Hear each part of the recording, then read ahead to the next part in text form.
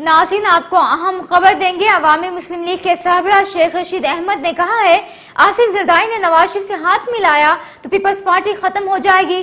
सबक वजी अजम नवाज़ शरीफ और शाहिद खाकान अब्बासी के ताल्लुक कशीदा होते देख रहा हूँ। निजी टीवी के मुताबिक मीडिया से बातचीत करते हुए शेख रशीद अहमद ने कहा कि नवाज़ शरीफ ने पहली गलती कतरी खत देकर और दूसरी बड़ी गलती दस्तावेजात ना देकर की। सरबरा अवामी मुस्लिम लीग ने कहा कि नवाज़ शरीफ ने अगर रेफरेंसेस का सामना ना किया तो उनकी अदम शिरकत पर फैसला हो जाएगा। कुर्बानी से पहले कुर्बानी का कहा था? उन्होंने कहा कि ईद के बाद हुदैबे पेपर्स मिल्स और एलएनजी के केस में भी फंस जाएँगे।